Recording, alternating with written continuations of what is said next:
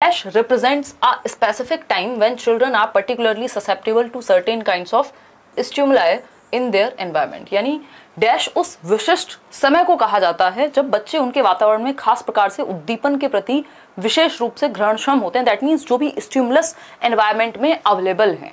मान लीजिए बच्चे के सामने एक ग्लास भी रखा हुआ है। मान लीजिए किसी ने कुछ बोला भी है। हर चीज़ पे उसका ध्यान है। जितने भी स्टिमुलस हैं, वो उनके प्रति क्या है? सेंसिटिव है। तो सिंपल आंसर क्या हुआ? सेंसिटिव पीरियड्स फिर भी बाकी के तीन ऑप्शंस तो पढ़ना ज़रूरी है। एक्सप्रेसिड पीरियड क्या होगा? जब वो एक्सप्रेस करने में बिज़ी है है ना? स्टिमुलस पे ध्यान देना दैट मीन्स वो सेंसिटिव है, उसके प्रति ग्रहणशील स्थिति में है। तो एक्सप्रेसिड तो तब होगा जब वो ग्रहण करने के बजाय एक्सप्रेस कर रहा हो। फिर आएगा प्लास्टिसिटी ड्यूरेशन जी नहीं. प्लास्टिसिटी का मतलब इससे दूर दूर तक नहीं है। मेंटल स्टैग्नेशन जी नहीं. आंसर क्या होगा? सेंसिटिव पीरियड यानी सेंसिटिव अवधि। अगर ये लैंग्वेज के लिए बात होती तो हम कहते हैं कि सेंसिटिव पीरियड, देखो अलग अलग चीज़ों के लिए अलग अलग सेंसिटिव पीरियड होते हैं। जैसे लैंग्वेज और सोशलाइजेशन के लिए अर्ली चाइल्डहुड यानी दो से छः वर्ष एक सेंसिटिव पीरियड है, एक संवेदनशील काल है कि बच्चे के सामने आप जो भी भाषा बोलेंगे, वो उसको बहुत तेज़ी से उन स्टिमुलस को ग्रहण कर लेगा। राइट आगे बढ़ते हैं नेक्स्ट क्वेश्चन पे। यहाँ आंसर है sensitive period. Question number two देखिए एक बार। वही जो आपके स्टेटमेंट और अजर्शन वाले क्वेश्चंस हैं। ठीक? अगर हम बात करते हैं अजर्शन की यानी ए, एक स्टेटमेंट है, उसके बाद उसका रीजन गिवन है। तो ये रीजन सही भी है कि नहीं, ये आपको यहाँ पढ़ के सोचना है। अदर्शन क्या है, कथन क्या है? Comparison among children can very accurately assess a child developmental progress यानी कि बच्चे के विकास की प्रगति। यानी बच्चे को अगर आप कंपेयर कर रहे हैं, अगर आपको ये असेस करना है कि कितना विकास हुआ है तो आप उसको कंपेयर करिए बाकी बच्चों से। इससे उसका सही प्रोग्रेस का पता लग जाएगा। कंपैरिजंस को हम हमेशा अवॉइड करते हैं किसी भी क्वेश्चन में। ये बिल्कुल भी चाइल्ड सेंट्रिक नहीं है। ठीक है? फिर आते हैं मतलब ये गलत हो गई बात। फिर आते हैं नेक्स्ट पे। नेक्स्ट जो ऑप्शन है, इसका जो रीजन दिया है कि कंपैरिजन करने से आपको बच्चे की प्रोग्रेस का पता चलेगा, उसकी डेवलपमेंटल प्रोग्रेस का पता चलेगा। इसका रीजन इन्होंने दिया है because the pattern and sequence of development as well as the rates of development are the same for all children universally मतलब कि विकास का स्वरूप एवं अनुक्रम एवं दर सब दुनिया के सारे बच्चों के लिए सेम होते हैं यूनिवर्सल होते हैं। ये हमने एक डेवलपमेंट का प्रिंसिपल पढ़ा है कि जो डेवलपमेंट है वो यूनिवर्सल है, सार्वभौमिक है। दुनिया में सारे बच्चे एक ही सीक्वेंस से, एक ही ऑर्डर से होकर के गुजरते हैं बट इसमें एक वर्ड का कैच है, जो मैंने बहुत बार आपके साथ डिस्कस किया है कि रेट सेम नहीं हो सकता। सीक्वेंस कैन बी सेम भाई इन्फेंसी के बाद अर्ली चाइल्डहुड ही आएगा दुनिया के हर बच्चे के लिए, चाहे कजाकिस्तान का बच्चा हो, इंडिया का बच्चा हो, अफ़गानिस्तान का हो, यूएस का हो, यूरोप का हो। सीक्वेंस सेम रहेगा। आपका जो जन्म से दो वर्ष का बच्चा है, वो इन्फेंसी में है, फिर उसके बाद वो अर्ली चाइल्डहुड में जाएगा, लेटर चाइल्डहुड में जाएगा अडोलसेंस में जाएगा। ऐसा नहीं होता, पहले अडोलसेंस में चला गया, फिर चला जाएगा अर्ली चाइल्डहुड में। सीक्वेंस है, पूरी दुनिया में सेम है यूनिवर्सल है, ठीक बात है। जो पैटर्न है, वो सबके लिए सेम है। ऐसा तो नहीं है बच्चा पहले दौड़ना शुरू कर देगा, बाद में खड़े होना शुरू करेगा, बाद में चलना शुरू करेगा। पहले बच्चा घिसट के चलना, जिसको हम क्रॉलिंग कहते हैं, वो शुरू करेगा, फिर खड़े होना शुरू करेगा, फिर चलना शुरू करेगा, फिर भागना शुरू करेगा। ये पैटर्न दैट मीन्स सबके लिए सेम है। लेकिन रेट सबके लिए सेम नहीं हो सकता। हो सकता है दो बच्चे जो सेम एज के हैं, किसी में जल्दी बोलना आ जाए, किसी को कोई जल्दी चलना शुरू कर दे दूसरे वाले से। तो दर जो है वो इंडिविजुअल डिफरेंसेस होते हैं दर में, ना कि यूनिवर्सल होती है तो यूनिवर्सल नहीं हो सकती। इस एक वर्ड की वजह से ये गलत हो गया, नहीं तो रीजन सही था, है ना? तो हम कहेंगे both A and R are false देखो, कितनी गलतियाँ कर रहे हैं लोग। 37 परसेंट ने सिर्फ़ आंसर सही दिया, और ये पहला चैप्टर है डेवलपमेंट का। अगर आपने सिर्फ़ मैराथन भी देखी होती चाइल्ड डेवलपमेंट की जो पेडागोलॉजी की मैराथन है, तब भी आप ये गलत नहीं करते। एक्चुअली चक्कर क्या है, जो टॉपिक हमें आते हैं, उन्हें हम इतना फॉर ग्रांटेड लेते हैं, हमें लगता है, अरे, ये तो पता है। कुछ और बताओ नया आगे का। है ना? और जबकि मेजोरिटी जो क्वेश्चन है, वहीं से आने हैं। डेवलपमेंट दुनिया का कोई पेपर होगा जिसमें डेवलपमेंट से क्वेश्चन ना आए। चलते चलते हैं नेक्स्ट क्वेश्चन पे चलते हैं। क्वेश्चन नंबर थ्री देखिएगा एक बार। Secondary socialisation maps the period in dash when the child begins to attend formal institutions such as the school यानी बच्चों का द्वितीयक सामाजिकरण डैश की अवस्था में प्रारंभ हो जाता है जब वह स्कूल जैसे औपचारिक संस्थानों में जाना शुरू कर देता है। हमें पता है स्कूल एज जनरली सात वर्ष, छह वर्ष तो मिनिमम है ही। पहली क्लास में बच्चा जाएगा। कि स्कूल एज फॉर्मली तो तब होगी। तो यहाँ कहीं भी ऑप्शन हमारे पास लेटर चाइल्डहुड नहीं है, इन्फेंसी हो नहीं सकता अडोलेसेंस हो नहीं सकता, क्योंकि इसमें थोड़ी ना वो स्कूल जाना शुरू कर रहा है। उससे पहले जाना शुरू कर चुका है एडोलेसेंस से। इन्फेंसी में स्कूल जाता नहीं है, जन्म से दो वर्ष के बच्चे को कौन से स्कूल भेजोगे? आजकल खेल माहौल अलग है, लेकिन अर्ली चाइल्डहुड वो पीरियड है, जो कि 65 परसेंट आंसर सही भी आ रहे हैं आपके। अर्ली चाइल्डहुड यानी जन्म से नहीं, दो से छह वर्ष की अवस्था वो अवस्था है जहाँ पे वो एटलीस्ट प्ले वे में तो जाने ही लगेगा और छह वर्ष तक आते आते पहली कक्षा में भी चला जाएगा। ठीक है? तो हमें ऑप्शंस के अकॉर्डिंग कई बार आंसर करना होता है। तो यहाँ पे बेस्ट ऑप्शन क्या है? अर्ली चाइल्डहुड पारंपरिक नहीं कहेंगे, ये पेपर में भी ऐसे ही आया था, पारंपरिक ही लिखा हुआ, लेकिन इसको पूर्व बाल्यावस्था कहते हैं। पूर्व बाल्यावस्था। ठीक, जब वो पहली बार घर से निकल करके बाहर की दुनिया में कदम रखता है, चार बच्चों के साथ मिलता है दैट मीन सेकेंडरी सोशलाइजेशन उसका शुरू हो जाता है, गौड़ सामाजिकरण। प्राथमिक कब होगा? जन्म से इन्फेंस या तीन साल तक मेनली उसका सेल्फ का कॉन्सेप्ट बनता है, उस दौरान प्राइमरी चाइल्डहुड ही सॉरी प्राइमरी सोशलाइजेशन का ही मेन रोल रहेगा, वो जो कि फैमिली से होगा। मिडिल चाइल्डहुड तो कहीं आठ से ग्यारह के बीच आता है तो इसको तो वैसे भी हम कंसिडर नहीं कर सकते। लेटर होता है एक बार को तो सोचते। ठीक तो अर्ली चाइल्डहुड इसका सही उत्तर रहेगा, क्योंकि रीजन ये सोशलाइजेशन के कॉन्टेक्स्ट में पूछा है। सोशलाइजेशन पहली बार घर से कब निकलेगा? प्रॉपर स्कूल से बच्चा, वो आपका अर्ली चाइल्डहुड में निकलेगा। कब? प्ले वे में जाने के लिए या फिर छह वर्ष तक आते आते पहली कक्षा में जाएगा राइट बट स्कूल एज इसको नहीं कहते हैं, ये याद रखिएगा, दो क्वेश्चन अलग अलग क्वेश्चन है, ठीक? आगे बढ़ेंगे फोर्थ क्वेश्चन पे। देखिएगा एक बार in which of in which stage can children work with with hypothetical statements and explore logical relationships between statements and have the ability to cope with abstractions such as proportions words पे focus कीजिएगा proportions ratio proportion याद आ रहा है आपको? ठीक? Abstractions अमूर्तता. ठीक? लॉजिकल रिलेशनशिप्स किसके बीच में?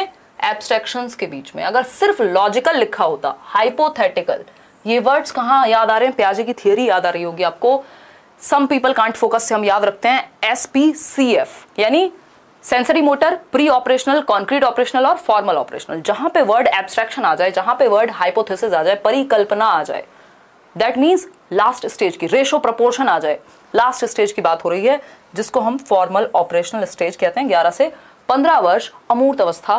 फिफ्टी टू परसेंट लोग सही दे रहे हैं इसका उत्तर तो बढ़िया बात है। अगर सिर्फ़ लॉजिकल होता, यहाँ पे ये एब्स्ट्रैक्ट नहीं होता हाइपोथेटिकल नहीं होता, सिर्फ़ लॉजिकल होता तो लॉजिक सबसे पहले कॉन्क्रीट ऑपरेशनल में आता है, सात से ग्यारह में। अगर होता तो आंसर फिर तब ये चला जाता। अभी आंसर क्या है? ग्यारह से पंद्रह। ठीक है? उनको पढ़िए ठीक से। क्वेश्चन नंबर फाइव जो लोग नए आए हैं, उनकी बात हो रही है। क्वेश्चन नंबर फाइव देखिएगा एक बार। विच जिनका यूपी डेट में अच्छा स्कोर हो, वो लोग मेल कर दीजिएगा, है ना? एक दो लोगों से इंटरेक्ट करने की मेरी पूरी कोशिश रहेगी। क्वेश्चन नंबर फाइव देखिएगा। Which of the following is a critique of Jean Piaget's theory यानी जीन प्याजे की थियोरी का क्रिटिक कौन है? बताइए एक बार। आलोचना कौन से वाक्य में हुई है, कौन से स्टेटमेंट में हुई है, किस ऑप्शन के थ्रू जीन प्याजे की थियोरी को क्रिटिसाइज किया गया है, आलोचना हुई है। अब देखो, जिन लोगों ने प्याजे को ठीक से नहीं पढ़ा, उनको दिक्कत होगी, क्योंकि उनको क्या चाहिए? हमसे तो सीधा सीधा सेंसरी मोटर स्टेज पूछ लो, हमसे तो प्री ऑपरेशनल पूछ लो, हमें घुमा के क्वेश्चन मत दो। और घुमा के क्वेश्चन नहीं देंगे तो फिर कॉम्पिटिशन कैसे बढ़ेगा? है ना? फिर तो वही क्वेश्चन आता रहेगा और इस बार सीटेट में क्वेश्चन डिफरेंट आए हैं। टॉपिक वही है, लेकिन क्वेश्चन डिफरेंट है। राइट बहुत बढ़िया।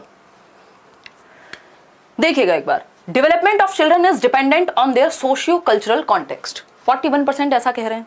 चलिए ठीक है.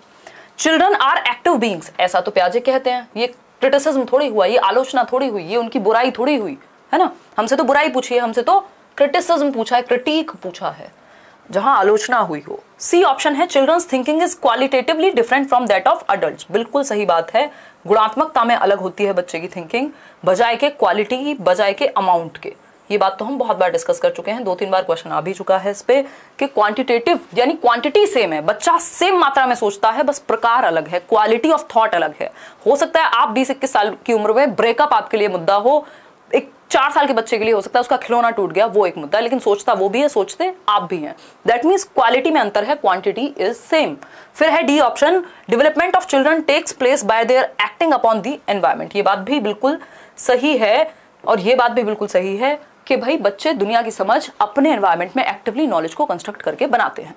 अब 37 परसेंट आंसर हो गया ए ऑप्शन जो कि सही है। बाकी लोग सारे गलत आंसर कर रहे हैं, जिन्होंने ए चूज़ किया है, सिर्फ़ वही सही है, क्योंकि क्वेश्चन में आलोचना पूछी है। आलोचना क्या है? Development of children is dependent on their socio cultural context यानी बच्चों का जो विकास है, वो उनके सामाजिक, सांस्कृतिक संदर्भ पर निर्भर करेगा। इस बात को प्याजे ने इग्नोर कर दिया। ये प्याजे की आलोचना हो गई कि आप समाज और संस्कृति को कैसे भूल जा रहे हैं? समाज और संस्कृति की तो बहुत बड़ा रोल है। इन्होंने बहुत इंपॉर्टेंट नहीं माना, थोड़ा बहुत चार फैक्टर्स में सोशल इंटरेक्शन आ जाता है बट महत्व इन्होंने नहीं दिया सोसाइटी और कल्चर को। ये कह रहे हैं, बच्चा अपने एनवायरमेंट पे एक्टिविटी करेगा, उसमें चाहे समाज आ जाए, चाहे कोई और चीज़ आ जाए, चाहे पेड़ हो, पौधे हो, कोई इंस्ट्रूमेंट्स हो बट समझ का विकास वो खुद करेगा। जबकि वाइगॉस्की क्या कह रहे हैं कि सामाजिक, सांस्कृतिक संदर्भ बहुत ही ज़्यादा महत्वपूर्ण है। किसके लिए? बच्चे के विकास के लिए। हम अपने समाज, अपनी संस्कृति से बहुत कुछ सीखते हैं। कई लोग अपनी एज से भी आगे सीख लेते हैं, क्योंकि उनका जैसा इंटरेक्शन है, जिन लोगों के बीच वो रहते हैं, जिस समाज और जिस संस्कृति से वो आते हैं, बहुत कुछ उन्हें वहीं से सीखने को मिल जाता है।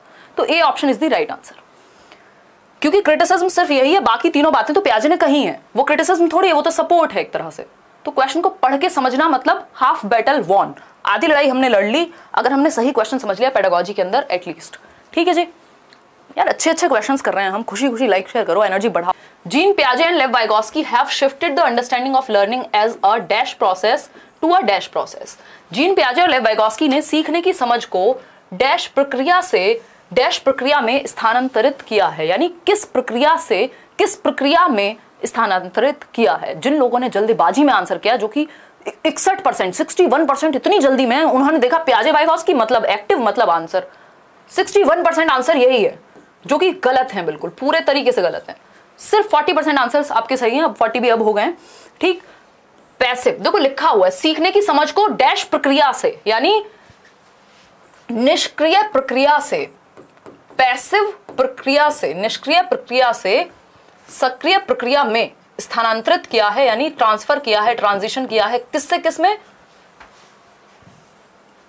Passive learning as a passive process to learning as an active process में have shifted the understanding of learning as a किससे किसमें? क्वेश्चन ने पूछा क्या है? उस पर आंसर डिपेंड करेगा। अगर पूछा होता कि एक्टिव प्रोसेस में है और पैसिव से शिफ्ट किया है तो उत्तर बदल जाता है ये आगे चला जाता है ये पीछे आ जाता। तो क्वेश्चन कैसे पूछा है? लैंग्वेज पे ध्यान दीजिए और लैंग्वेज अच्छी कब होगी? जितने ज़्यादा क्वेश्चन पढ़ोगे अच्छे से। मतलब ये नहीं कि आप दस हज़ार क्वेश्चन का सेट लगा लो, है ना? मैं आपको शीट्स दे देती हूँ टेन थाउज़ेंड क्वेश्चन की खूब भर भर के कर लो। बट अगर अंडरस्टैंडिंग हज़ार क्वेश्चन की भी नहीं है तो आप सिर्फ़ सही और गलत का उत्तर ढूंढेंगे। वो अंडरस्टैंडिंग डेवलप आपकी हो सकता है, पंद्रह क्वेश्चन से हो जाए, अगर आपने ढंग से समझे तो। वो पंद्रह क्वेश्चन की अंडरस्टैंडिंग आपको पाँच क्वेश्चन में हेल्प कर सकती है। ठीक है? तो आंसर क्या है? बी ऑप्शन ठीक? मैकेनिकल बिहेवियरिस्टिक बिहेवियरिस्टिक मैकेनिकल तो कहीं से कहीं तक होगा ही नहीं। क्वेश्चन नंबर सेवन देखिए according to Lev Vygotsky the basis of learning is यानी लर्निंग का आधार क्या है? वाइगोस्की के अनुसार। वाइगॉस्की की तीन चीज़ें हैं सोसाइटी कल्चर लैंग्वेज यानी समाज, संस्कृति और भाषा। बताइए एक बार क्या सही उत्तर हो सकता है। फटाफट से आंसर कीजिए। सोशल इंटरेक्शन री drill and practice changes in the structures of schemas schemas की बात प्याजे कर रहे हैं, ठीक? Drill and practice. बस आँख बंद करके प्रैक्टिस कराते जाओ, ना ऐसा प्याजे कह रहे हैं, ना ऐसा वाइगॉस्की कह रहे हैं। री इन्फोर्समेंट बिहेवियरिज्म का कॉन्सेप्ट है, व्यवहारवाद का कॉन्सेप्ट है कि बच्चों को गुड वेरी गुड कहो। इनका मेन कॉन्सेप्ट कौन सा है? समाज, संस्कृति और भाषा। जब भी वाइगॉस्की दिखे, इन तीनों में से 99 परसेंट चांस है एक आंसर होगा। सोशल इंटरेक्शन के बच्चा अपने समाज के साथ अंत क्रिया करेगा, अन्योन्य क्रिया करेगा और सीखेगा। Right right? जब आप चार लोगों में बैठ के बात कर रहे हैं, आप बहुत कुछ सीख रहे हैं। इसलिए तो हमें स्कूल भेज रहे हैं बच्चों को, नहीं तो वो किताबें घर पर भी पढ़ाई जा सकती थी। कि सोशल इंटरेक्शन होगा। A option is the right answer सामाजिक अंत क्रिया क्वेश्चन नंबर एट देखिएगा एक बार। Eight which stage of Lawrence Kohlberg moral development Lawrence Kohlberg का नैतिक विकास के सिद्धांत के अनुसार do individuals believe that society needs to update the rules over time यानी समाज में नियमों को टाइम के अनुसार, समय के अनुसार बदला जाना चाहिए। अगर नहीं बदला जाएगा तो क्या होगा? सती प्रथा हमेशा चलती रहती, कभी भी पुनर्विवाह की बात ही नहीं होती। भारत में या दुनिया में अगर हम बात करें तो एजुकेशन को हम कभी कहते ही नहीं कि लड़कियाँ भी जाएँगी वहाँ पढ़ने, या जो अभी चेंजेस हम देख रहे हैं कि आर्मी में भी अलाउ कर रहे हैं हम, या जो पायलट्स हैं, वो बन रही हैं लड़कियाँ, ये सारी चीज़ें कभी होती ही नहीं, है ना? मतलब समाज में नियमों में परिवर्तन लाने की ज़रूरत है, समय के अनुसार। बदलते, देखो सोसाइटी चेंज हो रही है, ऐसा तो नहीं है सोसाइटी कोई स्टैटिक चीज़ है कि कभी परिवर्तन नहीं होगा। टाइम के साथ सोसाइटी चेंज हो रही है, लोग चेंज हो रहे हैं म्यूज़िक चेंज हो रहा है, किताबें आपकी या कल्चर बहुत सारी चीज़ें चेंज होती हैं। और change is the law of nature हम ऐसी बात करते हैं कि परिवर्तन जीवन का नियम है। तो सोसाइटी में भी चेंजेस आने की ज़रूरत है। जो कल गलत माना जाता था, हो सकता है वो आज सही माना जाए, है ना? लेकिन, वो है C option social order maintaining orientation social order maintaining orientation यार, इस पे ना, इसको एक बार चेक करने की ज़रूरत है, क्योंकि social contract orientation should be the right answer है ना? क्योंकि सोशल ऑर्डर मेंटेनिंग क्या कहता है कि समाज में एक ऑर्डर बना रहे, इसलिए हम नियमों का पालन कर रहे हैं, ठीक? हालाँकि इसमें दूसरा एक, जो पर्सपेक्टिव है, वो ये हो सकता है कि उन नियमों को ज़रूरत पड़ने पे चेंज किया जा सकता है है ना? लेकिन मोस्ट प्रोबेबली जो आंसर है वो सामाजिक अनुबंध, अनुविन्यास होना चाहिए। तो एक काम करना, इस पर स्टार मार्क कर लेना, मैं इसको एक बार फिर से रीचेक करूँगी और तब इस पर चर्चा करेंगे। ठीक है? क्योंकि ये क्या होता है, इसकी स्टेजेस में थोड़ा सा लैंग्वेज में अंतर करेंगे, इसको लॉ एंड ऑर्डर कहते हैं वैसे तो लेकिन इन्होंने लॉ एंड ऑर्डर कहा नहीं है। तो ये सोशल ऑर्डर कह रहे हैं दैट मीन्स बन सकती है बात। तो एक काम करो, इसको स्टार मार्क कर लो, कल डिस्कस करेंगे इस पर एक बार। सोशल कॉन्ट्रैक्ट ओरिएंटेशन जो है यहाँ ज़्यादा बेहतर ऑप्शन है, अगर मैं सी के मुकाबले देखूँ। सी गलत नहीं है बट डी ज़्यादा बेहतर है। तो इसको मार्क कर लो कल के लिए। बाकी के दोनों तो पॉसिबल ही नहीं है। गुड बॉय गुड गर्ल तो होगा ही नहीं। फिर है question number nine which of the following is a correctly matched pair of the type of intelligence and the end state possibilities as per theory of Howard Gardner? Gardner की theory के according कौन सा एक and state हो सकता है? किस एक इंटेलिजेंस का? यानी चार ऑप्शंस हैं। हर एक ऑप्शन में एक टाइप की इंटेलिजेंस दी हुई है। गार्डनर ने आठ प्रकार की इंटेलिजेंस के बारे में बात की है। मल्टीपल इंटेलिजेंस बहुबुद्धि के सिद्धांत में। तो अगर हम बात करें, पहला ऑप्शन है लॉजिको मैथमेटिकल का एंड स्टेट पॉसिबिलिटी अकाउंटेंट बनना होगी। देखो, लॉजिको मैथमेटिको चाहिए होगी अकाउंटेंट में, लेकिन ये एंड स्टेट है, ऐसा पता नहीं। फिर बी ऑप्शन पढ़ लेते हैं। स्पेशल इंटेलिजेंस, स्थानिक बुद्धि, एंड स्टेट क्या है? एथलीट। जी नहीं, ये बॉडीली काइंस्थेटिक में होगा। बॉडीली काइंस्थेटिक, जिसका बॉडी पे पकड़ है, वही तो एथलीट एथलीट बनेगा। स्पेशल क्या हो सकता है? जिसको दिशाओं का ज्ञान हो, जिसको मैप का ज्ञान हो, है ना? वो नेविगेटर बन सकता है। वो स्कल्प्टर बन सकता है है ना? कार्टोग्राफर बन सकता है जो नक्शा बनाते हैं। लेकिन एथलीट का क्या संबंध है स्पेशल से? वो बॉडीली काइंस्थेटिक है। इंटेलिजेंस लिंग्विस्टिक जो इंटेलिजेंस है, उसकी एंड पॉसिबिलिटी क्या है? नेविगेटर की। बिल्कुल भी नहीं, है ना? लिंग्विस्टिक से तो या तो पोइट बनेंगे ऑथर बनेंगे, वक्ता बनेंगे, ठीक? इंटेलिजेंस थर्ड है इंटरपर्सनल का एंड स्टेट है डांसर इंटरपर्सनल का नहीं, ये भी बॉडीली काइंस्थेटिक में आएगा, जो आपका डांसर है। इंटरपर्सनल में आपके काउंसलर्स टीचर्स पॉलिटिशियंस ये सब आ सकते हैं कि लोगों के बीच अच्छे हैं। तो यहाँ जो बेहतर ऑप्शन है, वो है ए ऑप्शन बट बट इस क्वेश्चन में सीटेट ने सबको फ्री नंबर दिए हैं। उन्होंने कहा है, उन्होंने आंसर दे दिया नाइन दैट मीन्स सबको फ्री मार्क है। क्योंकि लॉजिको मैथमेटिको भी कोई बहुत अच्छा ऑप्शन नहीं है अकाउंटेंट के साथ। है ना? एक्चुअली अकाउंट लिखा है उन्होंने अकाउंटेंट भी नहीं लिखा। ठीक? तो ये इससे बेहतर एंड स्टेट्स अवेलेबल हैं. That means they have given the answer nine that means free number for all तो अगर इसमें बाकियों से बेहतर हो सकता था तो ए हो सकता था. अदरवाइज़ कोई और ऐसा आंसर नहीं है जिसको हम सही कह दें. ठीक है? अंत स्थिति अनुपालन, बुद्धि का प्रकार है, शारीरिक गति, संवेदनात्मकता, ठीक है. अंत स्थिति अनुपालन सी ऑप्शन आपका लिंग्विस्टिक एंड स्टेट गायक नहीं होगा. ये इन्होंने यहाँ पे अच्छा हिंदी में ऑप्शन अलग है और इंग्लिश में अलग है। ये भी एक रीजन हो सकता है। ठीक है? बुद्धि का प्रकार भाषिक है अंत स्थिति क्या होगी? लेखापाल। स्थानिक मतलब ये इन्होंने उधर अलग दे दिया, इधर अलग दे दिया। वास्तुकार। यहाँ पे सही थी बात। शारीरिक गति संवेदनशीलता में गायक नहीं होगा। प्राकृतिक अंत स्थिति में शिक्षक नहीं होगा। ठीक? बुद्धि का प्रकार भाषिक अंत स्थिति अनुपालन संभावना क्या है? लेखापाल। एक बार को ठीक हो सकता था ये। बट यहाँ पे जो सबसे बेहतर आंसर है वो यही है। बी अगर हिंदी में देखें तो तो ये ऑप्शन दोनों में अलग है। इसमें जो थोड़ा सा क्लोज ऑप्शन था वो ए था। इसमें जो बेहतर ऑप्शन है वो बी है। ठीक है, आगे बढ़ लेते हैं पहले एक बार। देख लेते हैं कि गार्डनर कह क्या रहे हैं। इस बार गलतियाँ तो हुई हैं पेपर में। अगर हम बात करें और ये तो ये आठ प्रकार हैं गार्डनर के। विजुअल स्पेशल पेंटर बन सकते हैं, है ना? पेंटर बन सकते हैं आप आप स्कल्पचर बन सकते हैं। दिशाओं का जिनको ज्ञान हो, कार्टोग्राफर बन सकते हैं विजुअल स्पेशल मेमोरी जिनकी अच्छी होती है लिंग्विस्टिक वर्बल वाले मैथ्स में साइंस में, इन सब में अच्छा कर सकते हैं। सॉरी लिंग्विस्टिक वर्बल वाले स्पीकिंग में अच्छा करेंगे। ठीक, फिर आता है इंटरपर्सनल इंटरपर्सनल लोगों के बीच अच्छे होंगे, जैसे काउंसलर या टीचर्स इंट्रापर्सनल जो खुद को बेहतर समझें फिलोसफर्स हो सकते हैं नेचुरलिस्टिक जो नेचर यानी गार्डनिंग वगैरह में अच्छे होंगे। बॉडी काइंस्थेटिक आपके डांसर्स हो गए एथलीट्स हो गए। म्यूजिकल इंटेलिजेंस जो म्यूज़िक को कंपोज कर सकें, बना सकें। लॉजिकल मैथमेटिकल जो है, ये है आपका साइंटिस्ट वाला और मैथमेटिशियन वाला। लिंग्विस्टिक वर्बल आपका भाषा से संबंधित है, यानी भाषा पे अच्छी पकड़ होगी। आप लिख अच्छा पाएँगे, समझ अच्छा पाएँगे लैंग्वेज को, है ना? इवन यूज़ भी अच्छे से कर पाएँगे। तो ऑथर वगैरह भी यहाँ आ सकते हैं टीचर्स भी आ सकते हैं। ठीक, आगे बढ़ते हैं। ये कुछ आठ प्रकार हैं गार्डनर की बुद्धि के। क्वेश्चन नंबर टेन देखिए। In a child centred education यानी बाल केंद्रित शिक्षा में प्रोग्रेसिव एजुकेशन बाल केंद्रित शिक्षा जॉन डुई याद आ रहे होंगे, या बहुत सारे लोग मॉन्टेसरी मानती हैं फ्रॉबेल मानते हैं, इस तरह की एजुकेशन को। आंसर कीजिएगा फटाफट से। हम्म पहला ऑप्शन है gives direction while the learners follow blindly यानी टीचर डायरेक्शन देगा और बच्चे आँख बंद करके फॉलो करेंगे। ये तो टीचर सेंटर्ड बन गई। Understands the child and the process of learning in a socio constructivist manner ये बात थोड़ी बेहतर लग रही है कि टीचर क्या करेगा? बच्चे को समझेगा और लर्निंग की प्रोसेस जो है वो सामाजिक, सांस्कृतिक मैनर में कंस्ट्रक्टिविस्ट होगी रचनावादी होगी। यानी बच्चा क्या करेगा? एक्टिवली कंस्ट्रक्ट करेगा मीनिंगफुल लर्निंग को। फिर है सेट्स आर रिजिड रिजिड नहीं कर सकते आप करिकुलम स्टैंडर्ड हो गया सबके लिए, जबकि फ्लेक्सिबल होना चाहिए डायनामिक होना चाहिए. Uses assessment to rank the student देखो, ये रैंक करना बच्चे को लेबल करना, ये सब नेगेटिव बातें हैं.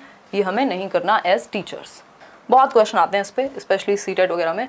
क्वेश्चन नंबर इलेवन देखिए चाइल्ड सेंटर्ड पे. ये है न्यू एजुकेशन पॉलिसी से संबंधित question according to national education policy NEP 2020 the progress card of the students communicated to the parents would be. यानी NEP 2020 के अनुसार एक प्रोग्रेस कार्ड या आपका जो रिज़ल्ट बनेगा, वो किस बेसिस पे बनेगा, ये पूछा है हमसे। ठीक है? बताइए एक बार।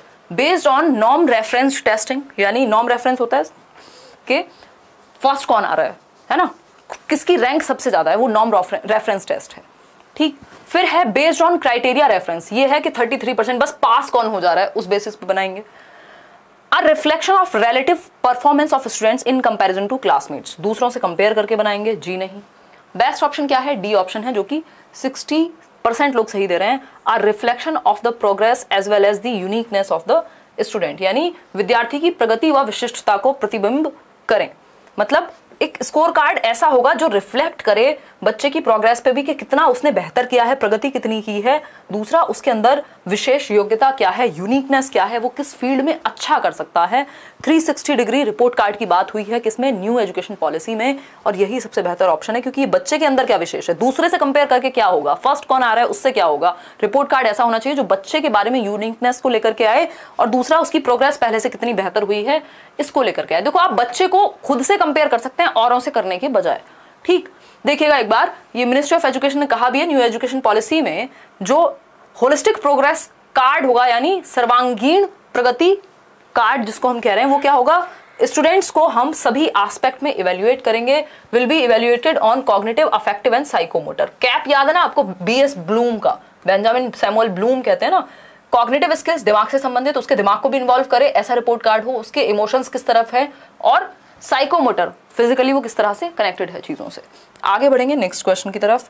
नेक्स्ट क्वेश्चन है आपका question number twelve retention of students from socio economically to ensure retention of students from socio economically disadvantage groups national education policy 2020 progresses the curriculum and pedagogy should be यानी कि वो बच्चे school में रहें। Retention का मतलब क्या school छोड़ के ना जाएँ, बच्चे रहें, जो सामाजिक और आर्थिक रूप से पिछड़े वर्ग से हैं, जो कमज़ोर हैं, जो गरीब हैं, एक तरह से सामाजिक या सांस्कृतिक रूप से किसी भी रूप में वंचित हैं। डिसएडवांटेज मतलब वंचित हैं, जिनको बहुत ज़्यादा इज़्ज़त नहीं मिल पा रही या जो एक जगह रुक नहीं पाते अलग अलग घूमते रहते हैं, ऐसे भी तो बहुत सारे लोग हैं ना जो ट्रैवल करते रहते हैं, जिनका कोई एक ठिकाना नहीं है, कोई घर नहीं है। तो न्यू एजुकेशन पॉलिसी इनके लिए किस तरह के करिकुलम और किस तरह के टीचिंग मेथड यानी पेडागोजी की बात करेगी? सेंटर्ड अराउंड एग्ज़ाम्स जो परीक्षाओं पे केंद्रित हो, परीक्षाओं पे केंद्रित होने से किसका भला हुआ है आज तक? पता नहीं कितने लोग डिग्री लेके घूम रहे हैं, जिनको नॉलेज का के नहीं पता। फिर है सेंटर्ड अराउंड टेक्स्ट बुक्स यानी कि टेक्स्ट बुक्स के अराउंड हो। देखो, ना तो एग्ज़ाम्स लर्निंग का कोई पैमाना है, ना टेक्स्ट बुक लर्निंग का कोई पैमाना है।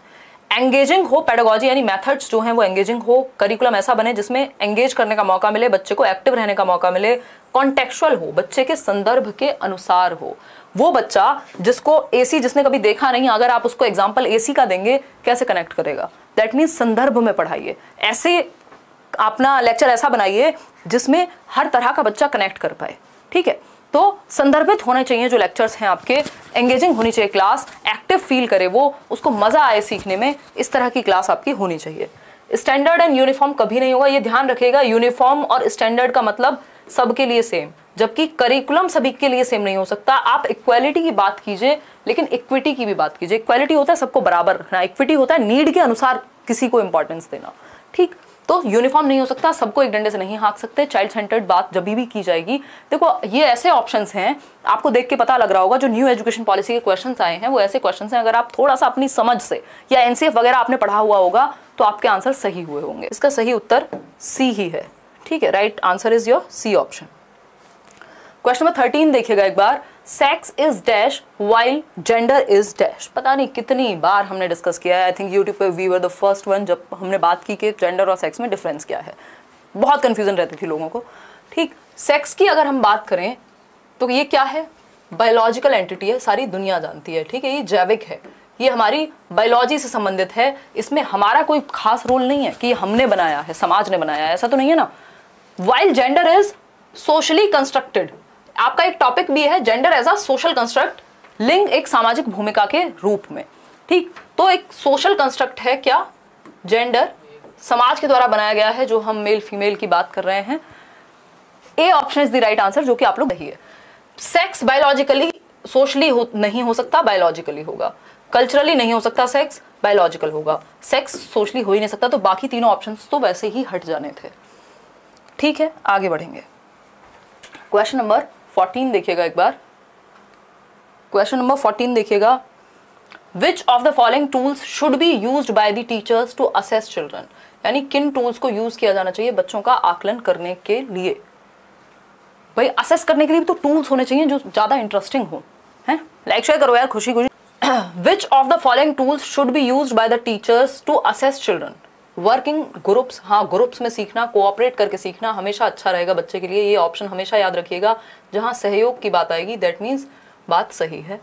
क्लासरूम पार्टिसिपेशन कक्षा में भागीदारी, बिल्कुल पार्टिसिपेट करना चाहिए बच्चे को क्लास में। पोर्टफोलियो से बच्चे की प्रोग्रेस का, उसके इंटरेस्ट का, उसकी यूनिकनेस का पता लगेगा। इसमें सारी एक फ़ाइल होती है पोर्टफोलियो जिसमें सब कुछ है बच्चे के बारे में। उसकी अचीवमेंट्स हैं। प्रेजेंटेशन के थ्रू आप सिखा सकते हैं या असेस कर सकते हैं। तो चारों ही बातें ठीक हैं। क्वेश्चन पे नेक्स्ट क्वेश्चन है fifteenth which of the following statements about language and cognitive development is correct यानी कि कौन सा एक स्टेटमेंट भाषा और संज्ञान के बारे में सही है? भाषा और संज्ञान समझते हैं ना मेंटल एबिलिटीज का डेवलपमेंट मानसिक क्षमताओं का विकास, जिसमें हमारा सोचना, समझना, सीखना अंडरस्टैंड करना मेमोरी परसेप्शन इमेजिनेशन ये सब आते हैं। ठीक? तो लैंग्वेज और कॉग्निशन के बारे में कौन सी एक बात सही है? देखिएगा language plays an important role in cognitive development भाषा की संज्ञानात्मक विकास में महत्वपूर्ण भूमिका होती है। बात सुनने में ठीक लग रही है। कोई ऐसी दिक्कत नहीं लग रही। इस पर चर्चा बाद में करेंगे। पहले चारों ऑप्शन पढ़ लेते हैं। Language does not play any important role in cognitive development ऐसा कोई भी समझदार व्यक्ति नहीं कह सकता कि लैंग्वेज का कोई रोल नहीं है है ना? Language hinder the process of cognitive level language कैसे बाधा बन सकती है संज्ञानात्मक स्तर में? Language and cognitive development are independent process यानी एक दूसरे से स्वतंत्र है, एक दूसरे पर निर्भर नहीं है, कोई संबंध नहीं है, ऐसा नहीं कह सकते। मोस्ट ऑफ़ द साइकोलॉजिस्ट या लिंग्विस्ट ये बात मानते हैं कि language plays an important role in cognitive development यानी भाषा का संज्ञान के विकास में बहुत ज़्यादा अहम रोल है, अहम भूमिका निभाती है भाषा। जब बात आती है कॉग्नेटिव डेवलपमेंट की, मैं और आप कैसे बात कर रहे हैं? अभी भाषा से ही कर रहे हैं। आपकी और मेरी समझ कैसे विकसित हो रही है? भाषा का बहुत बड़ा रोल है उसमें, है ना? अगर हम कन्वे ही ना कर पाए, चाहे लिख के, बोल के, सुन के, पढ़ के तो कैसे समझ विकसित होगी? तो हम कह सकते हैं language plays an eminent role in development of your cognitive skills ठीक? ऐसा लैंग्वेज को टूल भी कहा है वाइगॉस्की ने, हर कोई कहेगा और कहा भी जाता है, जिन लोगों को ज़्यादा भाषाएँ आती हैं, दो या दो से अधिक भाषाएँ आती हैं, उनका कॉग्निटिव डेवलपमेंट अच्छा होता है, उनका संज्ञानात्मक विकास अच्छा होता है, उनकी सोचने, समझने, तर्क करने की क्षमता अच्छी होती है। ये बिल्कुल क्लियरली एविडेंट बात है। A option is the right answer